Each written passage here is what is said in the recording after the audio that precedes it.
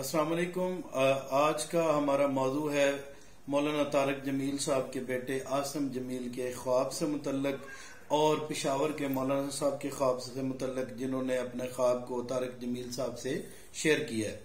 तो मौलाना तारक जमील साहब ने एक जो है फातह खाने की महफिल के अंदर जो है इसका ज़िक्र किया है कि एक पिशावर के मौलाना साहब हैं, जिन्होंने उन्हें फ़ोन किया है कि मैंने तारिक जमील साहब के बेटे आसम जमील मरहूम को देखा नहीं, लेकिन मैंने उन्हें ख्वाब में देखा है। मैं रोज़ाना सवा लाख दरूद पाक आप सल्लल्लाहु अलैहि वसल्लम की ज़ात पर पढ़ता हूँ।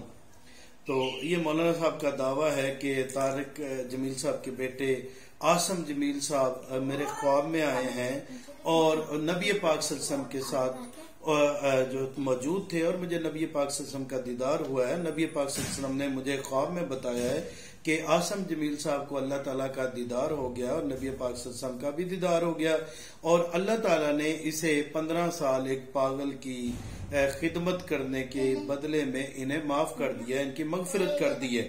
तो मौलाना तारिक जमील साहब को ये ख्वाब जो है, किसी पिशावर के मौलाना साहब ने सुनाया जो इंतहाई गरीब है, जो कोई बहुत ज़्यादा अमीर भी नहीं है, और तारिक जमील साहब के साथ उनकी कोई ज़्यादा सलाम दुआ भी नहीं है।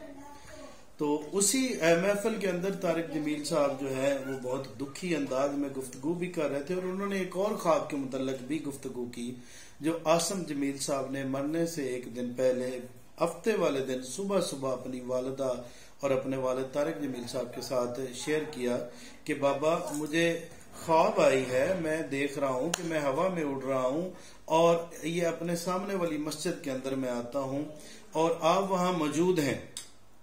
तो आपने मुझे कहा कि बेटा नमाज़ पढ़ो तो मैंने जवाब दिया कि मैं तो फौत हो गया हूँ मैं तो आ, इस दुनिया से चला गया हूँ और जब कोई शख्स फौत हो जाता है तो उस पर नमाज़ फ़र्ज़ नहीं होती। तो तारिक जमील साहब जो है वो जार रोने लग गया कि बेटा इस तरह मत कहो इस तरह का ख्वाब मत सुनाओ हम तो जीते जी मर जाएँगे। तो तारिक जमील साहब फरमाते हैं कि ख्वाब का रुख तब्दील हुआ। तो क्या देखते हैं कि आसम जमील कहता है कि मैं देखता हूँ कि नबी पाक सल्लम भी इस मस्जिद के अंदर जो है वो तशरीफ़ फरमा हुए और तकिए की टेक लगाकर बैठ गए। तो वो फरमा रहे हैं कि साहबा कराम को मुखातब करके कह रहे हैं कि ये वो आसम जमील है जो अपनी दुनिया के अंदर अपने रब से मुलाकात और अपने अबीब से रब के अबीब से मुलाकात करने के लिए तड़प रहा था।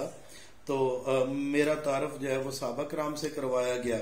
ठीक है? और मुझे ये बिशारत दी गई कि अल्लाह ताला ने आपके तमाम गुनाहों को माफ़ कर दिया, आपकी मगफिरत कर दी है, आपके गुनाहों को बख्श दिया है, और उन गुनाहों को बख्शने की वजह उस पागल की खिदमत है। और साथ साथ अल्लाह ताला ने आपकी तमाम दुआएँ कबूल कर ली। और सबसे बड़ी दुआ जो आप करते रहे ज़िंदगी के अंदर कि मेरी रब से मुलाकात हो हो तो अल्लाह ताला ने आपको अपना दीदार भी करवा दिया। फिर तारिक जमील साहब फरमाते हैं कि मेरा बेटा अपनी ज़िंदगी के अंदर ख्वाहिश करता रहा कि मुझे लैंड क्रूजर ले दी जाए, मुझे जो है प्राडो ले दी जाए, मुझे फार्चूनर ले दी जाए। मैंने मुख्तलिफ़ ममालिक की सैर करनी है, वहाँ जाना है और वहाँ रब ताला की तलाश करनी है। अब बात यह है कि ये हकीकत है या अफसाना? ये सच है, या झूठ, ये तारिक जमील साहब का मामला है और अल्लाह ताला का मामला है। अल्लाह ताला इसको बेहतर समझते हैं कि ये सच कहा गया, या झूठ। हमारा जो फ़र्ज़ बनता है, हम ये, वो ये है कि हम मरहूम के लिए मगफरत करें, उसके लिए दुआएँ बख्शिश करें ताकि अल्लाह ताला उसके दर्जात बुलंद करे।